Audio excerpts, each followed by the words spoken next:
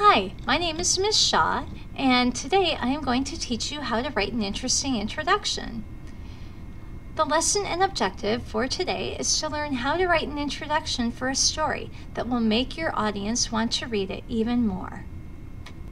So how do you write a captivating introduction for your story? Other than the title, the very first thing your audience reads is the beginning of your story.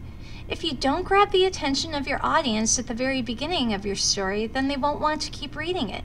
So, how do you catch their attention, you might ask? Stick with me, and you'll learn about five interesting ways authors use to begin their own stories. So, there are four materials that you will need in order to do this. The first thing is a piece of your own writing, the second would be a pencil.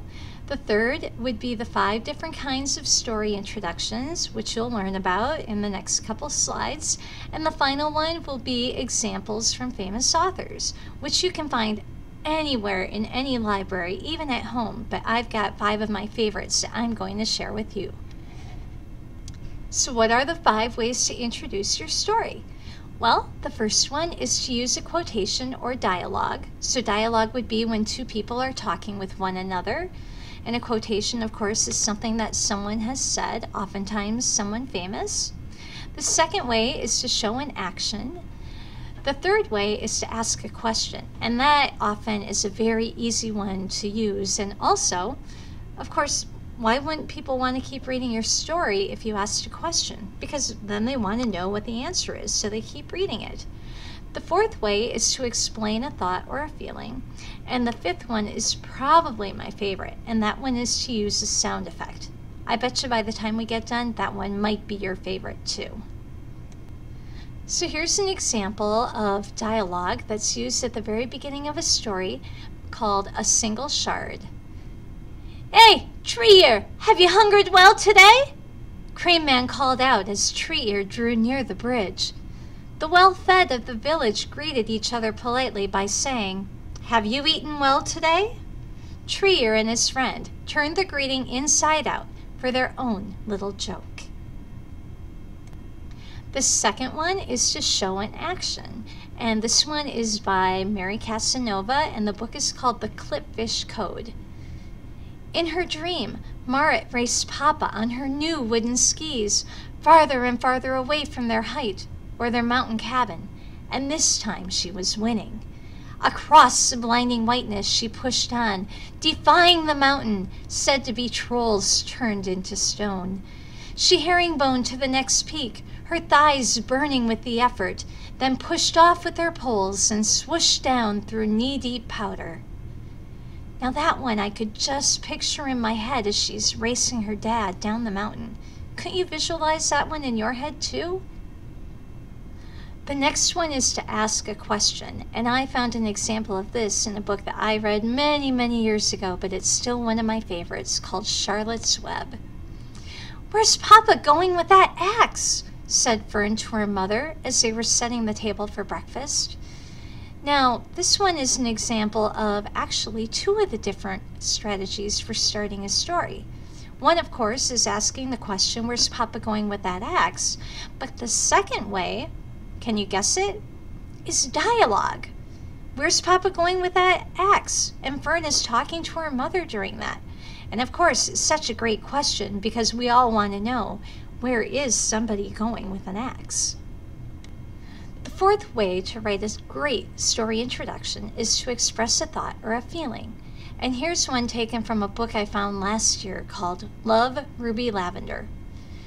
Murderers! You can't have them all! Ruby Lavender leaned out the car window and shook her fist. Now, this one, of course, does express a thought or a feeling, but there are a couple of other different ways of starting a story introduction that are included in this one. This would be a good point for your teacher to pause the screencast and for you to talk about what other possible kinds of story introductions does this one include. All right, well, first of all, we know that um, Ruby Lavender in this story is angry. How do we know that? Because she's showing an action where she's shaking her fist. So, an action is definitely one of the ways that she's using at the beginning of this story to introduce it. Also, at the very beginning, those two first sentences Murderers! You can't have them all! That's going to be dialogue. So, this author actually used three different ways, maybe even four if you found a fourth one. We've got a thought or a feeling, which is the anger. We've got the shaking the fist, which is showing the anger. And we also have the dialogue, where Ruby is shouting at someone. I wonder, did you find all of those with your teacher too? The last one is the sound effect, which I told you is one of my favorites. So here's an example from The Bridge to Terabithia, and this is how the author starts the story. Barum, barum, barum. Barippity, barippity, barippity, barippity. Good. His dad had the pickup going. Don't you just love hearing the sound of the pickup? I just love that one, and it's so easy to use the sound effect to start your story. Now it's your turn.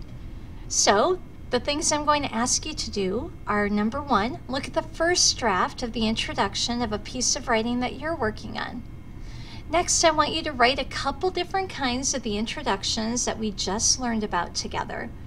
And third, I want you to choose the one you think will motivate your audience to want to keep reading your story. If you've done all those things and feel good about it, I know that you will have an awesome, intriguing, and captivating introduction for your audience. Have fun!